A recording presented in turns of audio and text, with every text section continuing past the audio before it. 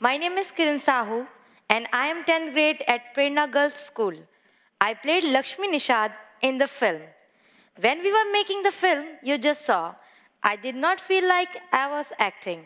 I feel like it was my own life. I also lost a parent. In my case, it was my father. Who cannot, I have a brother who cannot stand to see me to go to school. He burned my books, uniform, when I was 13. And he pulled me out of school five times. Good morning, everyone.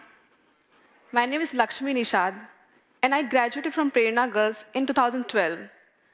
This film makes, makes, makes me look my, sorry, this film makes me look my life with fondness and pain.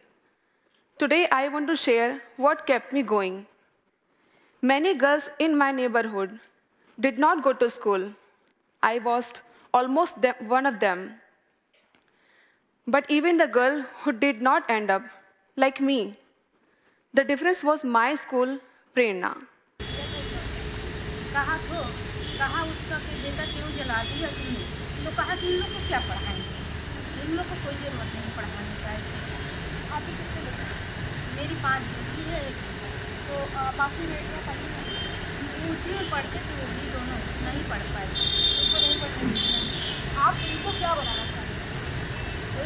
आगे बढ़ा मैं तो कुछ बन के उम्मीद नहीं था कि हम यूएस जाएँगे, लेकिन हम गए वहाँ, बहुत सारी मस्ती की, बहुत सारा बहुत जगहों पे घूमने गए हैं पहली बार हुआ मेरे साथ तो मुझे बहुत ज़्यादा खुशी हुई। और मैं सबसे पहले बताना चाहूँगी, जो मेरी मम्मी है घर में, क्योंकि उनके वजह से ही मैं स्कूल में पढ़ रही हूँ, क्योंकि अगर वो मेरी सपोर्ट ना करते तो शायद मैं भी अपनी बहनों के, जैसे अभी मेरी मेरी बहनों की शादी हो गई है, उनके बच्चे हैं, वो घरों में काम करती हैं तो शायद मैं भी वही कर रही होती मेरा तो यही सपना है कि जिस तरह से मेरी मम्मी की लाइफ गुजरी है, जैसा भी मेरी फैमिली साथ हुआ है, मैं नहीं चाहता कि मेरी बहनों की लाइफ ऐसी हो, क्योंकि मैंने बहुत बुरी कंडीशन देखी है। तो यहाँ पे, मेरी फ्रेंड मिली थी, रेनू।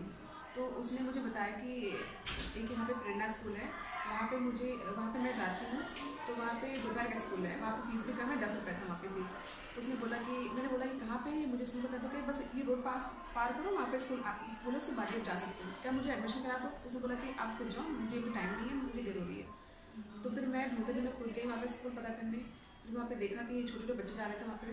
तो फिर मैंने वहाँ पूछा, फिर मैं आंटी के पास गई दोपहर में, आंटी से मैंने बोला कि आंटी मनीषा आंटी वहाँ थी। तो मैंने आंटी से बोला, आंटी, मुझे एडमिशन चाहिए। तो बोला कि बेटा किस क्लास में चाहिए? मैंने बोला कहते किसी भी क्लास में मुझे एडमिशन चाहिए, मुझे पढ़ना है।